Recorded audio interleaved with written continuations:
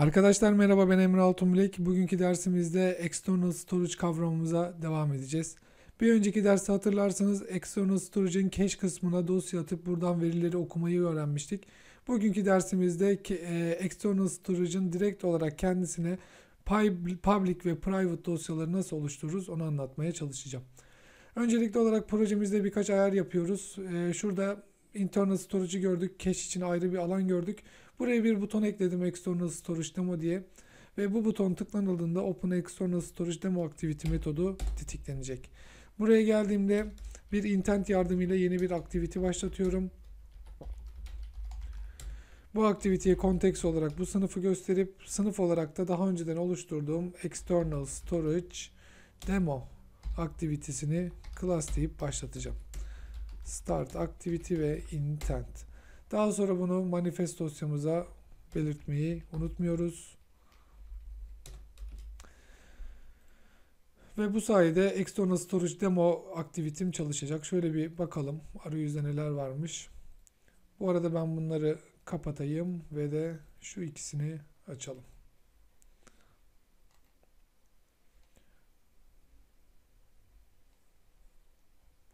Uygulamam açılıyor.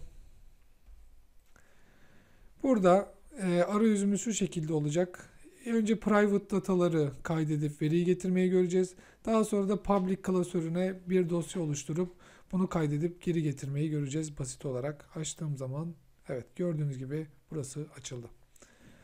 Bunun içinde kullanılacak alanları ben yaptım ve metotlar bu şekilde. Şimdi bunları yavaş yavaş dolduralım. Bunları doldururken yine daha önce yaptığımız işlemlerden çok farklı işlemler olmayacak. Tabii ki belli farklılıkları var ama genel olarak dosyayı okuma ve yazma işlemleri biz file imp, e, neydi metodumuzun adı? File imp, file output stream ve file input stream. Biz bunu daha önce nerede yapmıştık? Internal storage demo'da mı vardı? Hayır. Case storage'da kullanmıştık bunu. İki tane metodumuz vardı direkt. Biz bunlara parametreler göndererek işlemlerimizi yaptırıyorduk. Ben bu iki metodu buradan kopyalayacağım. Ve de external storage java'nın altına yapıştırıyorum. Bunları kullanarak basit bir şekilde dosyalarımızı okuma ve yazma yapabileceğiz. Bu metotları kullanmak için dosyaya yazmak için öncelikle yazılacak dosyayı ve yazılacak datayı veriyorduk. Dosyadan okurken de bu metot bize verdiğimiz dosya parametresini okuyordu ve string olarak içeriğini bana veriyordu. Şimdi gelelim Save to External Private kısmına. Ben burada external storage'ımda private yani sadece bu uygulamanın kullanacağı bir dosya oluşturmak istiyorum. Bunu yapmak için e, neyi kullanacağız? Öncelikle alalım kullanıcının vereceği verileri şuradaki datanın içine atalım. Bu verileri ben nereden alacağım? Edit text external dedikten sonra private yani şuradan nokta get text nokta to string diyerek buradaki verileri alıyorum. Daha sonra da ne yapmam lazım? Write to file deyip önce file'ı yani hangi dosyayı okuyacaksa yazacaksa orayı daha sonra da datamı buraya atacağım. Bu bir burada dursun. Buraya gelelim. Önce get external files dir metoduyla ben e, external storage'ıma erişiyorum. Buraya null verirseniz eğer direkt olarak external storage'ın içine e, sizin dosyanızı oluşturur. Ama şöyle my folder derseniz buraya o dizinin altına my folder oluşturduktan sonra sizin dosyanızı oluşturur. Gördüğünüz gibi bu geriye bir file döndürüyormuş. Bu file'ı buraya alalım. File, dosya, dizini diyelim. Daha sonra ne yapıyorduk? New file deyip dosyamı oluşturacaktım. Buraya öncelikle dizinimizin adını yazıyoruz. Dosya dizini. Daha sonra da oluşturacağım dosyanın adını yazıyorum. My external private nokta txt diyelim. Bu da bana yine ne yapıyor? Geriye bir file nesnesi döndürüyor. File file diyelim. Yani dosyamızın kendisi. Şöyle dosya diyelim. Artık write to file'a ben bunu dosya olarak geçebilirim. ve bunun içine şuradaki datayı yazmasını söyleyebilirim arkadaşlar. Evet. Save to external private bu kadardı. Şimdi bir kontrol edelim. Bakalım bir hatamız var mı? Hatta bundan sonra da şöyle, gerçi bu şeyin içinde vardı herhalde bir tost mesajı. Dosya yazılı diye bir tost mesajı gönderiyormuşuz zaten. Internal, şey external storage demoyu başlattım. Buraya e, Emre yazalım. Kaydet dedim. Dosya yazıldı dedi. Şimdi gelelim bu dosyadaki verileri okumaya. Save load from external private kısmına gidiyoruz. Burada da kullanacağım metot neydi? Read from file. Şurada oluşturduğum read from file metodu. Bu metot e, vereceğim dosyayı okuyordu ve de içeriğini bana bir string olarak geriye döndürüyordu. Burada yine aynı şekilde şurada yaptığımız işlemleri yapacağız. Bunları buradan kopyalıyorum. Ve de gelelim buraya yapıştıralım. Hep aynı işlemler olduğu için tekrar tekrar yazmıyorum. Öncelikle dosya dizimizde metotla aldık. Ve de bu klasörün içindeki e, my external private txt'ye ulaştım ve dosyanın içine attım. Ve bunun içine sadece ve sadece içeriğini okumak istediğim dosyayı yazıyorum. Daha sonra şuraya bir string ifade oluşturalım. String dosya içeriği desin. Ve de bu metottan geri dönecek olan string ifadeyi ben bunun içinde tutayım. Bunu da ekranıma tx external private nokta set text diyerek text view'umda göstereyim. Dosya içeriği. Evet. Bu da bu kadardı. Tekrardan bir yapalım. Bakalım bir hatamız var mı? External Storage Demo. Demin zaten dosyanın içeriğini yazmıştım. Veriyi getir dediğimde gördüğünüz gibi veri başarılı bir şekilde getirildi. Yeni değer diyelim aynı dosyaya. Kaydetsin, getir desin, getirdi ama şuradaki yumuşak yumuşak G'den dolayı bir yazım hatası oldu. Çok önemli değil. Bu şekilde ben private kısma dosyalarımı atıp oradan verileri okuyabiliyorum. Peki bunlar nereye kaydediliyor? Hemen ona bir hızlı bir şekilde bakalım. Android'deki device monitörü açıyoruz. Bir bakalım bu dosyalar nereye oluşturulmuş. Device monitör açıldı. Burada File Explorer'ın altında Storage kısmına giderseniz burada Emulated kısmı neyi simgeliyordu aslında? Bizim SD kartımızı Burada sıfırın altına giderseniz buradaki klasörler public. Biz şu an private dosya oluşturduk.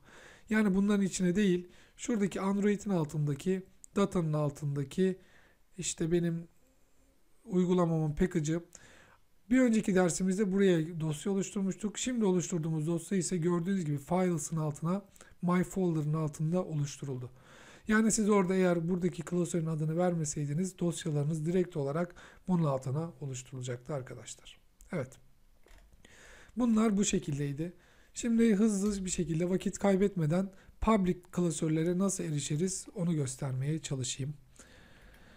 Öncelikli olarak public klasörler dediğimiz e, bütün uygulama ve kullanıcılar tarafından erişebilir olan klasörlerdi. Demin oluşturduğumuz dosya aslında yani yine bir kullanıcı şey tarafından bir şekilde erişilse bile aslında uygulamaya özgü dosyalardı. Buraya attığınız dosyalar ise kullanıcının galeri kısmından veya başka bir şekilde görebileceği, kullanabileceği dosyalar. Bunu yapmak için önce yine e, yazılacak datamızı alalım. Bu datayı nereden alacağız? Edit text'ten alacağız. External public nokta get text nokta to string diyerek bu datayı alıyoruz. Şimdi e, file dedikten sonra dosya yolu diyelim.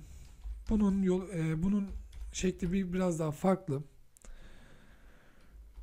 Environment nokta deyip get external storage public directory diyerek bu public klasöre ben erişiyorum. Buraya siz kendi oluşturduğunuz bir dizinin adını verebilirsiniz. Mesela kendi klasörüm diyelim buraya. Ama Google'ın dokümantasyonlarında falan hep şey der. Eğer siz e, Public Directory'e bir şey atacaksanız daha önceden tanımlı olan bir e, klasörü kullanın der. Dosya yolu eşittir dedik environment nokta get bunu dedik.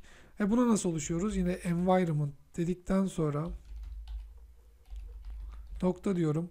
İşte oradaki public klasörler bunlar. Nelermiş onlar? Alarmların tutulduğu, resimlerin, dokümanların, işte download indirilenlerin, filmlerin, müziklerin falan. Zaten her birimizin galeride gördüğü şeyler. Ben buradaki oluşturacağım şeyi dokümentin altına atmak istediğimi söylüyorum ve dosya yolumu belirttim. Daha sonra da yazılacak dosyamı belirtiyorum. New file deyip oluşturulacağı klasör dosya yolu ve dosyamın adı da my external işte public diyelim buna da nokta txt. Daha sonra verileri yazmak için ne yapıyorduk? Write to file diyoruz ve de buna yazmak istediğim dosyayı ve yazmak istediğim veriyi gönderiyorum.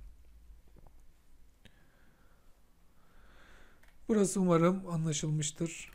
Peki hemen hızlı bir şekilde bunları buradan veriyi nasıl çekeriz onu da göstereyim. Bunu yapmak için yine öncelikle klasörümüzün yolunu bulalım. Dosya yolu diyelim.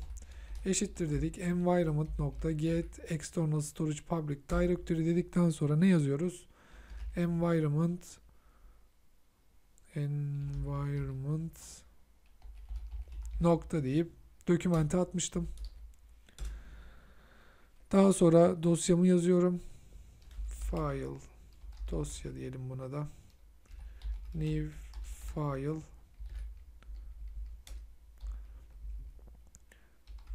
dosya yolu daha sonra da dosyamızın adı neydi? Buydu. Bu dizine git ve bu dosyayı bul diyoruz. Daha sonra da ne diyorduk arkadaşlar? Read from file deyip bu dosyayı buraya gönderiyorduk. Bu bana bir string geri dönüş sağlıyordu dosya içeriğini veren.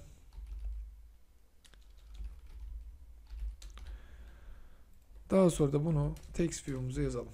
Text view public nokta set text dosya içeriği. Evet, şimdi gelelim uygulamamızı test etmeye. Böyle bir hata aldığımızda Android'deki Enable AGB Integration'ı aktifleştirip tekrardan çalıştırıyorum. Uygulamam açıldı. Hemen testimizi yapalım. External Storage Demo kısmına gittim. Mesela burası hala çalışıyor. Şöyle emre yapalım. Kaydetsin. External Private attığım verileri okuyabiliyorum. Şimdi Public'e bir veri atalım. Emre Altun diye. Ve ben buna bastığımda dosya kaydedildi diye bir uyarı almam lazımdı ama almadım. Demek ki bir hata var. Android monitöre bakalım.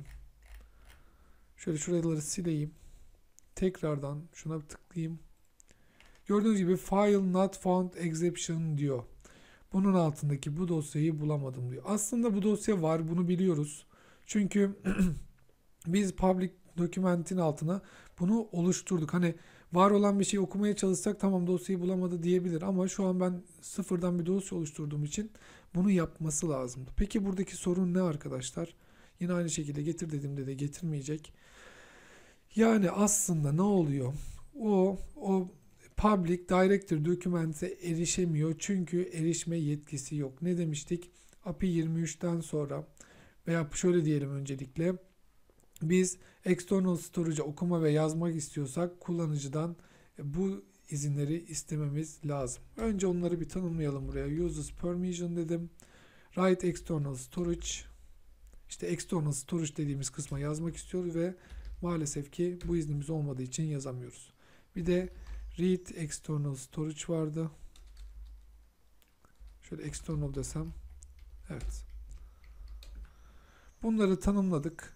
Şimdi bir deneyelim bakalım ne olacak.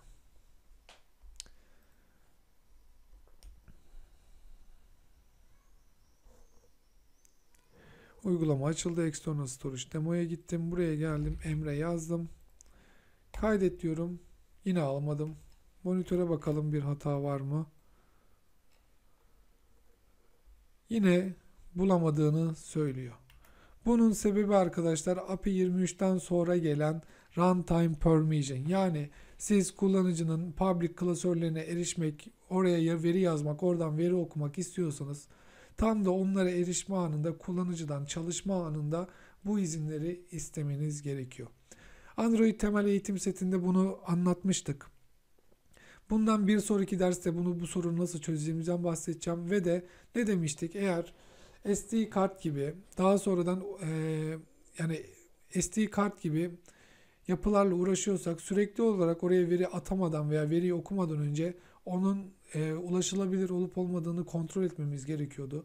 Şu an onun da bir örneğini yapmadık. Bir sonraki derste hem runtime permission'ımızı yapalım hem de e, bir veri atarken veya veriyi okurken SD kartı ulaşıp ulaşamadığımızın kontrolünü yapalım. Umarım faydalı olmuştur. Bir sonraki derste görüşmek üzere.